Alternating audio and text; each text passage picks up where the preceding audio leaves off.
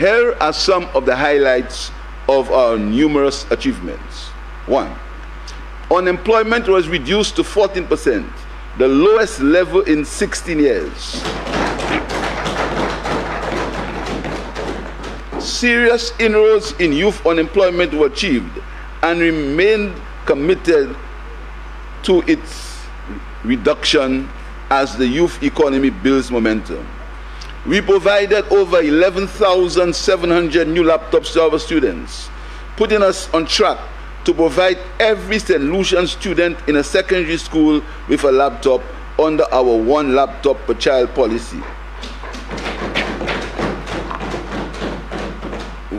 We have reinvested heavily in TVET education certification to close the gap between skills and jobs available in the private sector. We introduced the highly anticipated Universal Health Care, UHC, which offers senior citizens free medical care at hospitals and wellness centers across the island, as well as, well as prenatal and postnatal care to mothers. On, on August 2nd, 2023, we removed 12.5% value added tax on medical equipment for two years to incentivize medical practitioners to procure medical equipment and to reduce the costs of medical examinations. We launched the 80 Plus Healthcare campaign in July 2023, which gives access to a package of free medical services at community wellness centers to persons 80 years and over. These services include prescription drugs, annual hearing tests, and access to the services at the Cuban Eye Clinic. Since November 1st, 2022, we continue to make significant progress on the reconstruction of the St. Jude Hospital.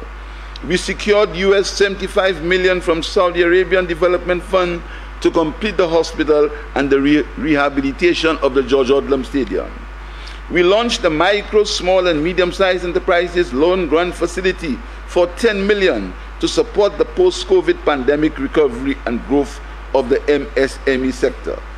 In March 2023, we paid millions in outstanding back pay to public servants. We facilitated access to finance the, the operations of the Millennium Heights Medical Complex in the amount of 23.05 million we paid 11.5 million in August last year to honor commitments made by the last administration to Health City Cayman for medical consultancy fees. We injected 1 million into the reinstated distress fund to bring relief to fire victims with uninsured homes. July 2023, we removed the 12.5% value added tax on selected building materials which included plywood, lumber, cement, galvanized, and solar PV systems for a two year period to encourage home improvements. In October 2023, we secured funding of 26 million for the St. Lucia Fire Service to procure new ambulances and fire and fire appliances and for the reconfiguration of fire service administration and training facilities. In August 2023, we paid an additional $600 to teachers for classroom material, which brought the allowance to $1,400 per year. We secured additional financing of 20.5 million to support the Youth Economy Agency the year, which provides funding for an additional 3,000 young solutions to assist them in turning their talents and skills and hobbies into viable business enterprises.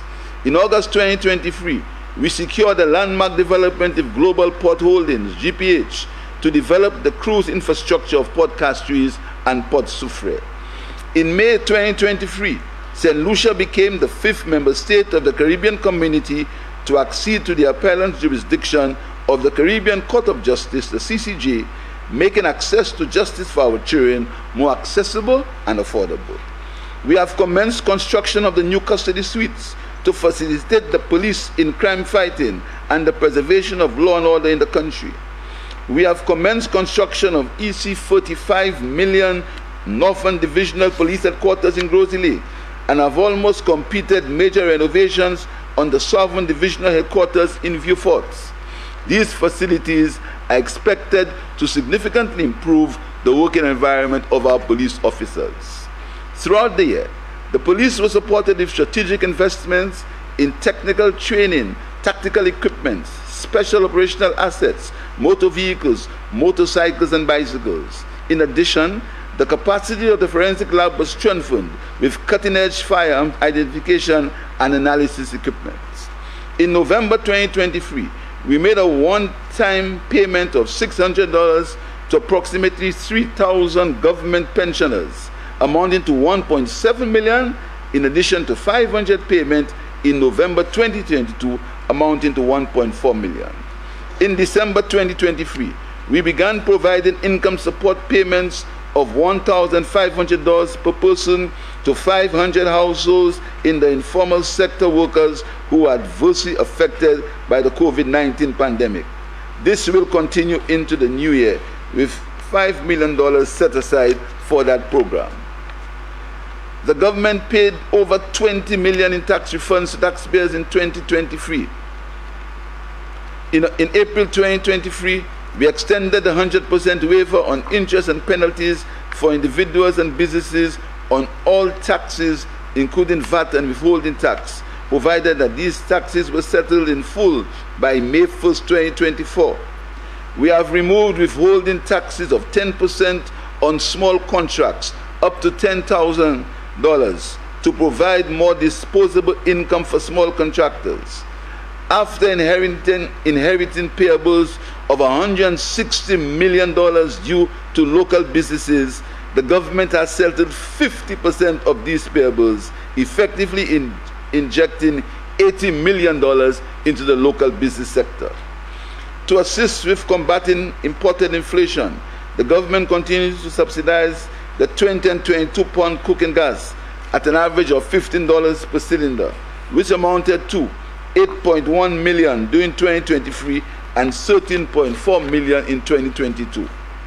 Throughout 2023, the government heavily subsidized the price of flour, sugar, and rice, amounting to 11.5 million in 2022. In 2022, the subsidy on flour alone was 8.9 million, of which 5.6 million went to bakers and 3.3 million went to the public. We removed the 6% service charge on price control products. We removed VAT charges on sanitary products for women, for women and placed those products under the price control list of items, which meant a further reduction in costs by the removal of the 6% service charge.